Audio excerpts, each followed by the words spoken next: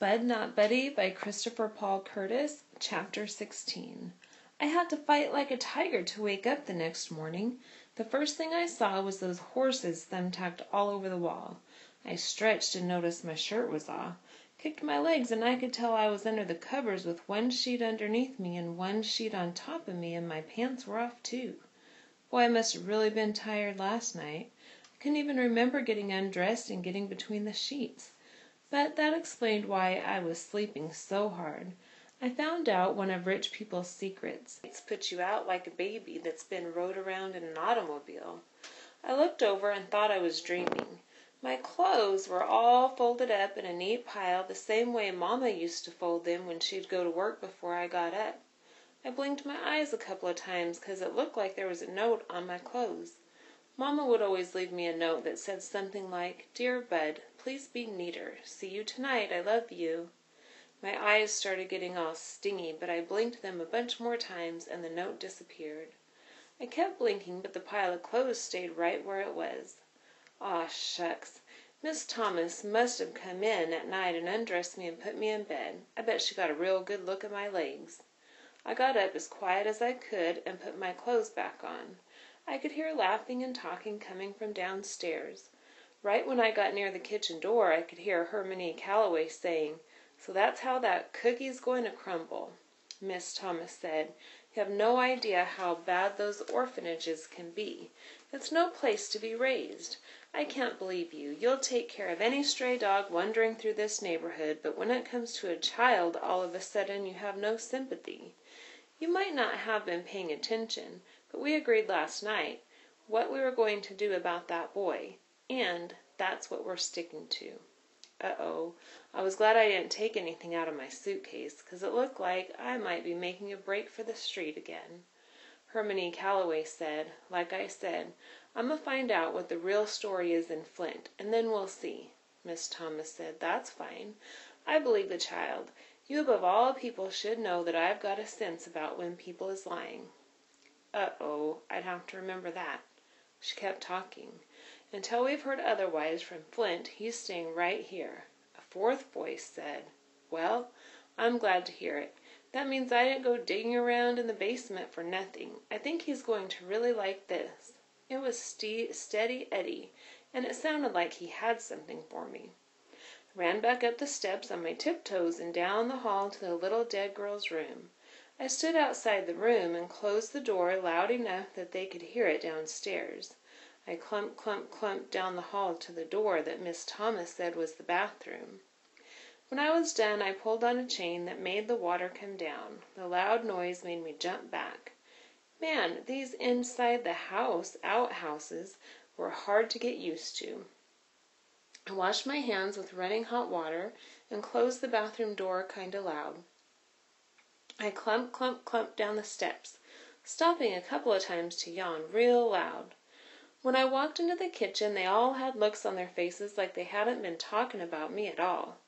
I said, Good morning, Mr. Calloway, but I didn't really mean it, then said, Good morning, Miss Thomas. Good morning, Mr. Jimmy. Good morning, Steady Eddie. I noticed right away that Miss Thomas didn't have all her diamond rings on. I guess it would have been real hard sleeping with them flashing lights up at you. She must have to keep them closed up in a box that the sparkles can't get out of. I noticed, too, that even without the rings Miss Thomas still had to be the most beautiful woman in the world. They smiled and said, Good morning, Bud. All except Hermione Calloway. He got up from the table and said, I don't like the way Laudine is sounding. I'm to have a look at her plugs. He went outside through a door at the back of the kitchen. Miss Thomas said, Bud, we'd just about given up on you. Do you usually sleep until afternoon? Afternoon? Man, I couldn't believe it. I'd slept as long as those rich folks in the moving pictures.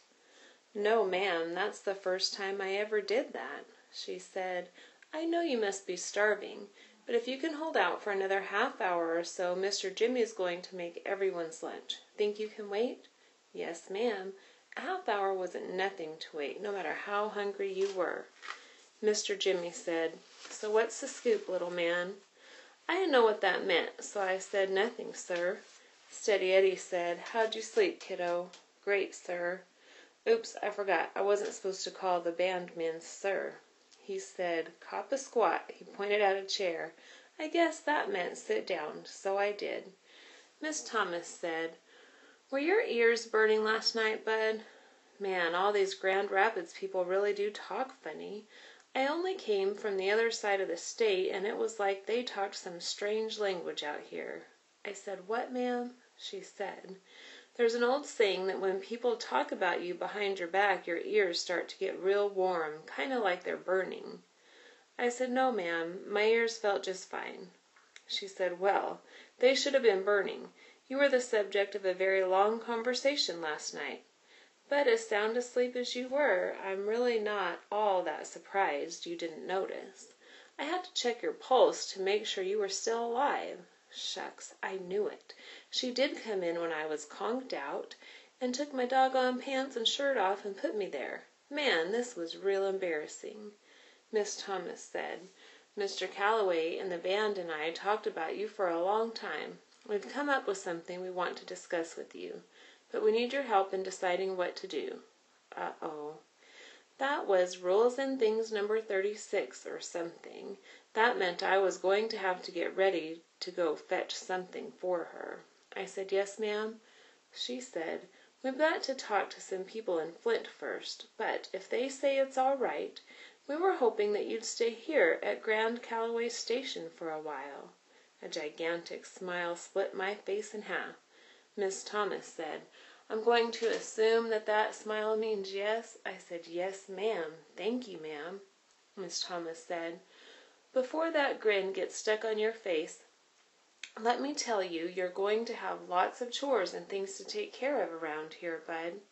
You'll be expected to pull your own weight the best you can. We all like a very clean house, and none of us are too used to having children around. So we're all going to have to learn to be patient with each other. There's one person in particular that you're going to have to be very patient with. Do you know who I mean? I sure did. Yes, ma'am, it's Mr. Calloway. She said, "Good boy. Give him some time. He really needs help with a lot of different things. He swears someone's adding weight onto that bass fiddle of his every year. But he's just getting older. He can use some young, wiry hands to help him around. Think you can handle that?"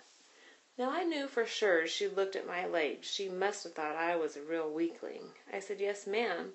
My legs are a lot stronger than they look. Most folks are surprised by that." Miss Thomas said, "I don't doubt that at all, Bud.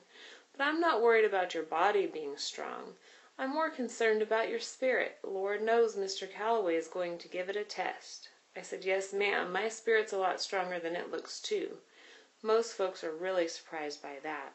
She smiled and said, "Very good. But you know what, Bud?" "What, ma'am?" "I knew you were an old toughie the minute I saw you." I smiled again. She said, "Our schedule is pretty heavy for the next couple of months, and then come September we'll have to see about school for you. But we'll all be doing a lot of traveling right around Michigan, so I hope you don't mind long car trips." "No, ma'am." She said, "That's great, Bud. Something tells me you were a godsend to us. You keep that in mind all of the time, okay?" "Yes, ma'am." Then she did something that made me feel strange. She stood up, grabbed both my arms, and looked right into my face, just like Mamma used to. She said, "Really, Bud, I want you to always keep that in mind. This might get hard for you some of the time, and I don't always travel with the band, so I don't want you to forget what I'm telling you." I said, "No, ma'am, I won't." Steady Eddie said, "Since you're going to be a part of the family, there's some things we've got to talk about. Now I've noticed the tight grip you keep on that old suitcase of yourn. I need to know how attached to it you are. I carry it with me everywhere I go, 'cause all my things are in there." I wasn't sure if I liked the way this talk was going.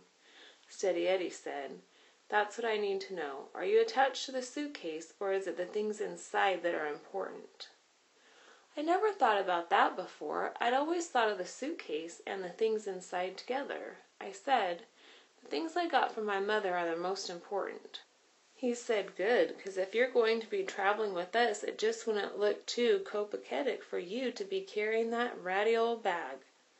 He reached under the kitchen table and pulled out one of those funny looking suitcases that the band kept all their instruments in. This one looked like a baby one to his.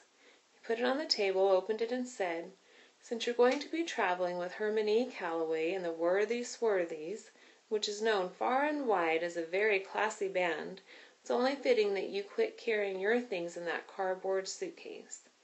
This is my old alto saxophone case. I've been hanging on to it for three years now, ever since the horn got stole right off the stage in Saginaw. But it doesn't look like I'm ever going to get it back, so I figured you might as well keep your mama's things in it." "Wow! Thank you, Steady Eddie." Pulled my new case over to me. The inside of it had a great big dent where Steady Eddie's saxophone used to go. Now there wasn't anything in it but a little raggedy pink towel. The case had some soft, smooth black stuff all over the inside of it, covering everything, even the dent. There was a real old smell that came out of it, too, like dried up slobber and something dead. Smelled great. The back kitchen door opened, and I thought Herman Calloway was coming back in to ruin everybody's fun, but it was the rest of the band. Everybody said hello, poured themselves some coffee, then sat down at the table. Doo Doo Buggs said, "I see Mr. C.'s got Laudine's carburetor tore down again. Anything wrong?" Miss Thomas said, "There's lots wrong, but not with the car." They all laughed, so I joined in too. I patted my new case and said, "This here's my case now. I'm going to be going around with you." They smiled, and Dirty Deeds said, "So we hear. Glad to have you on board, partner." Steady Eddie said, "I was just about to tell him some of the things Herman E. Calloway requires of anybody in his band." The Thug said otherwise known as Herman Calloway's rules to guarantee you have no female companionship, no alcohol, and no fun at all. Rule number one, practice two hours a day. Jimmy said, That's a good one. Steady Eddie said, So I got you this, Bud. Steady Eddie had another present for me.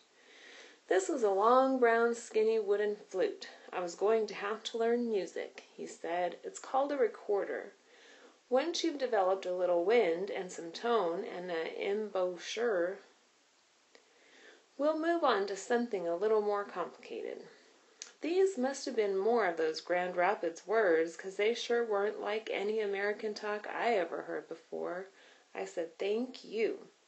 Steady Eddie said, "Don't thank me until you've been through a couple hours of blowing scales. We'll see if you're still grateful then." The Thugs said, "Now all that's left is to give little stuff here a name. Miss Thomas said, "You know, I don't like the way Laudine's been sounding. I think I'm going to go check the air in the trunk." She picked her coffee up and started to leave the kitchen.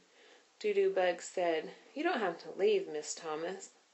"Darling, I know that. It's just that this is one of those man things that you all think is so mysterious and special that I have absolutely no interest in. The only thing I can hope is that the process has improved since you four were given your names." Then she left the room. Soon as she was gone, Steady Eddie told me, "Hand me your axe and stand up, Bud." I was starting to catch on to this Grand Rapids talk. I remembered that an axe was an instrument. I handed Steady my recorder and stood up in front of him. He said, "Uh huh, she was right. This is mysterious and special. So that grin's got to go, brother." I tried to tie down my smile. Steady said, "Mr. Jimmy, you're the senior musician here. Would you proceed?"